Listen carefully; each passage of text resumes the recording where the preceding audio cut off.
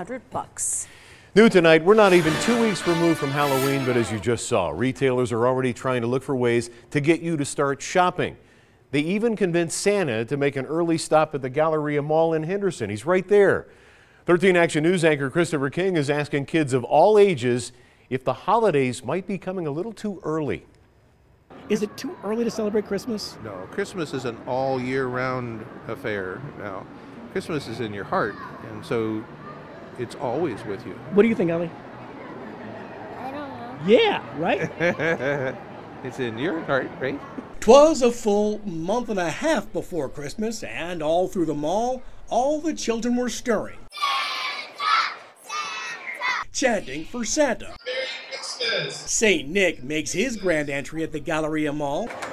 Kids jump for joy. Two, They light the Christmas tree, and it's only November 10th. Of course, the kids think the holidays can't arrive soon enough. It's not even Thanksgiving yet, and yet we're celebrating Christmas now.